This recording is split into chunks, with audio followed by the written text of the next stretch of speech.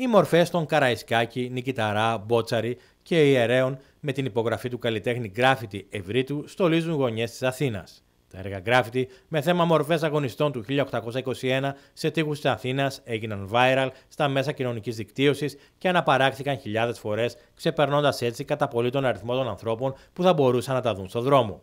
Ο Εύρητο αποτυπώνει μορφές αγωνιστικές, ασκητικές θα έλεγε κάποιος, που εκπέμπουν όμως δυναμικότητα με την απλότητά τους. Ένας ανώνυμος αγωνιστής, ο Καραϊσκάκης, ο Νικηταράς και ένας απλός ιερέας είναι τα πρώτα από τα έργα του. Όπως τονίζει, σκοπός των προσπαθειών του είναι να περάσουν τα ορθά μηνύματα της Επανάστασης και όχι του γρεκυλισμού και του ανθεληνισμού.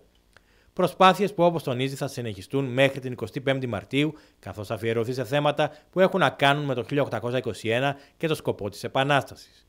Το ιδανικό θα ήταν όλα τα γκράφιτι να είναι σε κεντρικά σημεία, σε χώρους από τους οποίους περνούν χιλιάδες Έλληνες, προκειμένου να μην ξεχνούν το μήνυμα της Επανάστασης και του αγώνα, αν και κάτι τέτοιο είναι πολύ δύσκολο, αφού εκτός από την αστυνομία, κάποιοι συγκεκριμένοι θα φρόντιζαν να τα βεβηλώσουν. Γι' αυτό και οι περισσότερες δουλειές μου είναι σε σχολεία, ταράτσε, εγκαταλειμμένα κτίρια, προκειμένου να μπορώ να τα τελειώσω με ησυχία και ασφάλεια, δηλώνει ο Εύρητος. Στην προσπάθειά του πάντως βρήκε ήδη συμπαραστάτες, καθώς όπως είπε, μετά την ευρεία κοινοποίηση των έργων του στο διαδίκτυο, δεν ήταν λίγοι αυτοί που τον προσέγγισαν για να τον βοηθήσουν και να τον στηρίξουν έμπρακτα με τον έναν ή τον άλλον τρόπο.